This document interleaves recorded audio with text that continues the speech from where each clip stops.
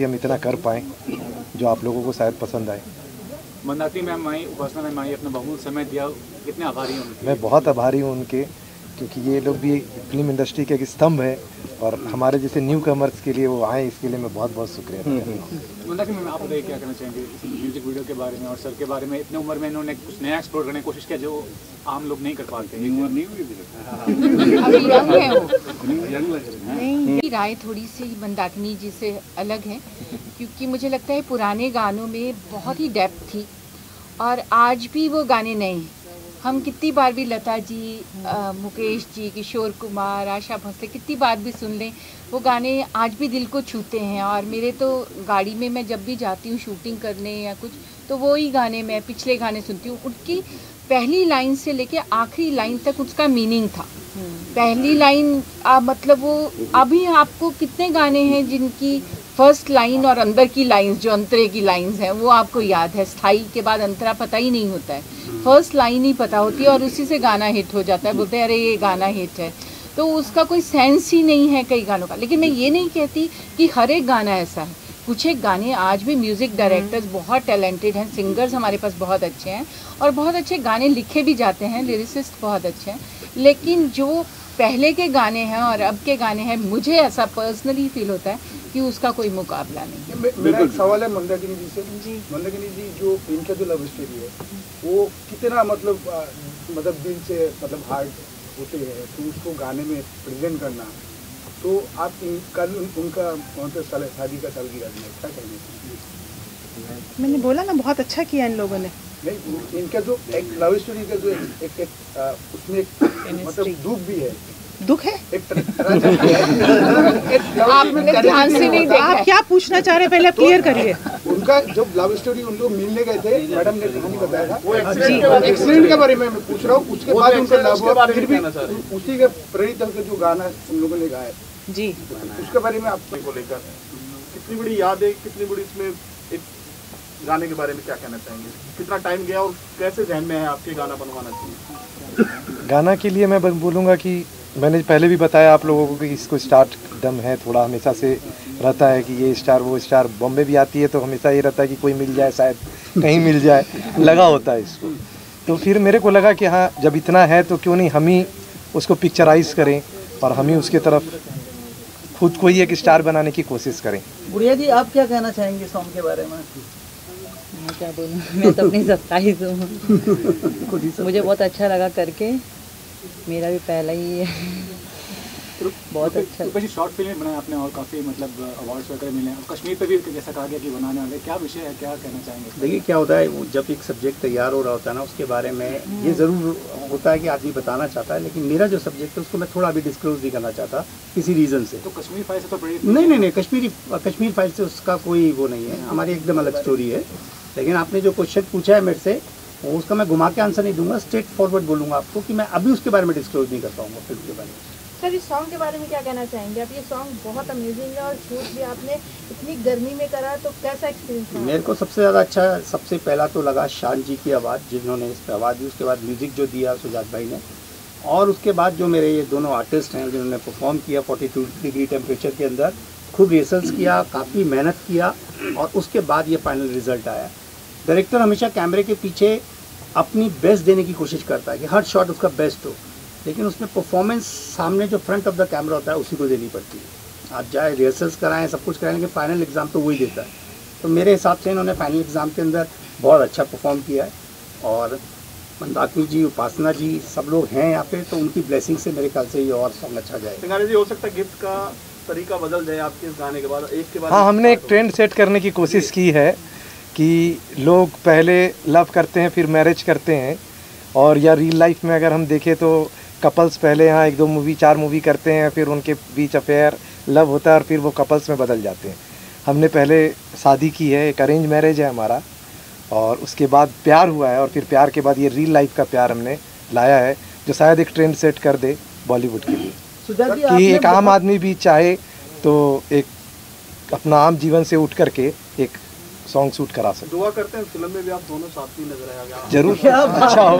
आपकी दुआ लगे। इन्होंने पक्का कर सुजात जी आपके बहुत सारे वीडियोस आए हैं और इस वीडियो में क्या खास बात है कपल को देखते हुए? कपल बहुत अच्छे हैं और आपको देखने मिल जाएँगे। मगर मैं इस गाने में रुपेश भाई की तारीफ़ करूँगा कि उन्होंने मुझे चांस दिया और इतना अच्छा गाना बनवाया मेरे से। ये गाना गाया शान भाई ने गाया गाना। और शान भाई आने वाले थे शान भाई बाहर हैं वरना वो भी आते थे क्योंकि कल ही मुझे रुपेश भाई ने बोला कि भाई शान भाई को भी बुलाया जाए तो बाहर हैं मगर मगर इसमें सबसे अहम भूमिका है हमारे रुपेश भाई की उन्होंने ये गाना मेरे से निकलवाया। मैम काफ़ी ब्यूटी कॉन्टेस्ट जीता आपने ये नया अनुभव था कैसा अनुभव था रुपेश जी का रही आपकी टीम के बारे में जो आप शूट कर रही थी? मैम थोड़ा आप सामने देख लीजिए ना देखिए वो साउंड नहीं आएगा जी सामने देख के देखिए। क्या होता है ना फ़ैशन वर्ल्ड अलग है क्योंकि जितना मैंने ब्यूटी कॉन्टेस्ट किया है इतने पिछले तीन साल से कंटिन्यूशन में मैं नेशनल इंटरनेशनल लेवल पे जो वर्क कर रही हूँ। बट वहाँ का वर्किंग स्टाइल और इंडस्ट्री में जो हम कैमरे के आगे आते हैं टोटली अपोजिट है। वहाँ रैम पे चलना और सिर्फ़ कैमरे में देखना। और शूटिंग के दौरान पता चला कि कैमरे में देखना ही नहीं है आपको। मतलब एकदम अपोजिट है। और हम लोगों को हैबिट है जब हम शो करते हैं कि पर्टिकुलर हम पोज में खड़े होते हैं। यहाँ पोज तो चलता ही नहीं है। यहाँ एकदम फील अंदर से निकालना होता है आपको। आपका जो टैलेंट है वो। बहुत अच्छा एक्सपीरियंस था और रुपेश सर का तो सैल्यूट है बिकॉज़ इतना सुंदर तरीके से इन्होंने जो पिक्चराइजेशन किया है और ये हमारे जो कपल है इनका भी मैं थैंक्स कहूँगी कि इन्होंने इतने फास्ट इतने फास्ट तो मुझे नहीं लगता कि कोई शूटिंग में वन डे में आपके फटाफट आउटफिट चेंज करना और सेट पे आना। इतनी गर्मी में सीन्स जैसे देना, मंदाकिनी जी ने बोला कि यार वहाँ पर भी और मैम ने भी बोला कि इतने फटाफट एक्सप्रेशंस भी देना गर्मी में। मैं भी शूटिंग पे थी लोकेशन पे थी। बहुत ज़्यादा गर्मी थी बट सीरियसली इन्होंने बहुत अच्छा परफॉर्म किया। तो मुझे लगता है एक बार सारी मीडिया ने वैसे ज़्यादा तालियाँ तो आप लोगों ने बजाई नहीं है पर एक बार बजनी चाहिए इन दोनों के लिए सर के लिए बिल्कुल। आपको बहुत अच्छा लगा आप भी शायद बनवाने वाले हैं ऐसा गाना? क्या? आपको बहुत अच्छा लगा गाना आपने बोला कि उठाएँगे आपको गाना बहुत अच्छा है शान साहब ने बहुत बहुत बढ़िया गाया है इसमें कोई शक नहीं है। तो अ, गाना मैं तो खुद फ़िल्में दो प्रोड्यूस कर रही हूँ अभी मतलब मैंने की हैं तो उसमें तो बहुत से गाने होते हैं। तो हाँ? ऐसा गाना? कपल वाले गाने। कपल? हाँ मेरा बेटा हीरो आ रहा है अभी नानक। लोग बोलते हैं मेरे को कई बार मैं एयरपोर्ट पे भी जाती हूँ तो लोग बोलते हैं अरे आपकी शादी हो गई। शायद लोगों को वही कपिल वाली बुआ ही याद आता है। तो मैंने उनको बोला मेरी शादी काफ़ी टाइम पहले हो चुकी है। और मेरा अठारह साल का बेटा है और वो लव स्टोरीज में आ रहा है अभी नानक उसका नाम है। तो वो बहुत सारे गाने कर रहा है, बहुत अच्छा डांसर है। तो गानों से मेरी हमेशा से बहुत अटैचमेंट रही है। मुझे गाने सुनना और डांस डांसेस देखना बहुत पसंद है। सो मैं तो गाने पिक्चराइज करवाती रहूँगी और मैं बहुत इनको इन्होंने कमाल है कि जो जिस फ़ील्ड में होता है, जैसे अभी ये मशरूम्स बेचते हैं, हमें कोई बोले हम एक आधा किलो बेच नहीं सकते। लेकिन इन्होंने वो फ़ील्ड में काम किया है कि जिस फ़ील्ड, जो फ़ील्ड ही नहीं है इनका। तो उसमें एक्सप्रेशन देना और अपने मार्क पे आना और इतनी गर्मी में काम करना तो डिफ़िकल्ट काम था ये सब। तो उसके लिए तो भाई बहुत मैं उनको क्या कहूँ उनकी तारीफ़ है। लोकेशन मैडम आप जो इन इनके पास जब गए थे जी। जो गाने के लिए तो उनका जो कहानी बताइए ना अच्छा इनके बारे में? ओके फाइन सबसे पहले तो जब जैसे मैंने आप लोगों को स्टार्टिंग में भी बोला कि ये लव मैरिज तो नहीं अरेंज मैरिज है बट उस अरेंज में भी लव करना बहुत बड़ी बात होती है जो इन्होंने यहाँ प्रूव करके दिखाया। और सिंघानिया जी ने जैसे मुझे बताया था कि वो अपनी वाइफ के लिए कुछ सरप्राइज़ प्लान करना चाहते हैं। तो मतलब मैं इस फ़ील्ड में थी तो मुझे लगा कि इससे बेटर क्योंकि हर लेडीज़ की एक चॉइस होती है कि उसका हस्बैंड उसके लिए कुछ सरप्राइजेस प्लान करे। और बीवी नंबर वन तो हर लेडीज़ बनना चाहती है। तो वही बीवी नंबर वन कॉन्सेप्ट सोचकर हमने जब डिस्कस किया, उसके बाद रुपेश सर से जब हम मिले और शान सर तो मेरे बहुत फेवरेट है क्योंकि सिंगिंग तो मुझे लगता है उनकी आवाज़ और इनकी आवाज़ भी काफ़ी मैच हो रही थी। जब डिस्कस किया तो बस वो जो स्टोरी मैंने आपको बताई है एक्सीडेंट वाली वो उस कॉन्सेप्ट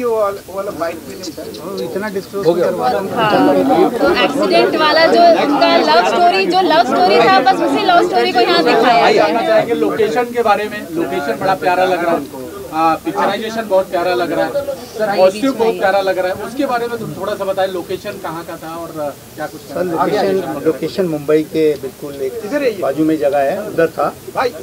और जहाँ तक कॉस्ट्यूम की बात है कॉस्ट्यूम में हमारी डिज़ाइनर ने रितिका ने बहुत मेहनत किया अलग अलग कॉस्ट्यूम्स के ऊपर क्योंकि इनके ट्रायल्स बहुत ज़्यादा हुए थे कॉस्ट्यूम्स के। मैं आपको बस सिंपल एक लास्ट बात बोलना चाहता हूँ क्योंकि बहुत ज़्यादा लंबी बात करना ठीक नहीं रहेगा अभी। पुराने टाइम के अंदर जब सॉन्ग्स बनते थे, दो दो फूल टकराते थे और उसके बाद पता नहीं चलता था कि क्या हुआ। आज के टाइम में फूल टकराना बंद हो गया, सिर्फ़ ये फ़र्क है। लेकिन जो पुराने सॉन्ग्स के अंदर एक फील थी, एक सोल थी, वो आज के सॉन्ग्स में भी है। लेकिन उस लेवल के म्यूज़िक डायरेक्टर्स उस लेवल के लिरिक्स राइटर जो आज भी मेहनत कर रहे हैं। मैं आज उपासना जी के साथ अभी बात कर रहा था तो वो बता रही थी कि उन्होंने दो फ़िल्में अभी प्रोड्यूस की हैं। और अपने सन को लॉन्च कर रही हैं तो मुझे पता है कि ये पीछे बिहाइंड द कैमरा ये कितनी मेहनत कर रही होंगी। तो सेम चीज़ मैं इनके लिए बोलूँगा सिंगानिया साहब के लिए कि बिहाइंड द कैमरा जिन लोगों ने मेहनत की है और फ्रंट ऑफ़ द कैमरा जिसने मेहनत की है उसी को पता है कि बेस्ट चीज़ क्या है क्योंकि हर को अपनी चीज़ बेस्ट लगती है। जो भी आदमी है चाहे वो डायरेक्टर है चाहे वो आर्टिस्ट है चाहे म्यूज़िक डायरेक्टर है लिरिक्स राइटर है बेस्ट जजमेंट ऑडियंस की है सर हाँ, गुड़िया जी आपसे जानना चाहेंगे आपका कैसा रहा एक्सपीरियंस मतलब लोकेशन देख के और जब इस समय पिक्चराया जा रहा था पिक्चराइज किया जा रहा था तो एक आपके लिए अलग अनुभव रहा होगा इन सब चीज़ों हाँ का? मेरे लिए बहुत हाँ नया था मेरे लिए बहुत अच्छा अनुभव रहा मेरे लिए। मुझे बहुत अच्छा लगा काम करके। मैं आगे भी करना चाहूँगी आप लोग साथ देंगे तो। करेंगे हो मुस्कुराते हुए नज़र आ रहे हैं ऐसे क्या रियल लाइफ में भी आप ऐसे ही हाँ हाँ रियल लाइफ भी ऐसे ही है। हम लोग का रियल लाइफ भी ऐसे ही रहता है हमेशा। चलिए thank you thank you thank you everyone media friends की तरफ़ से आप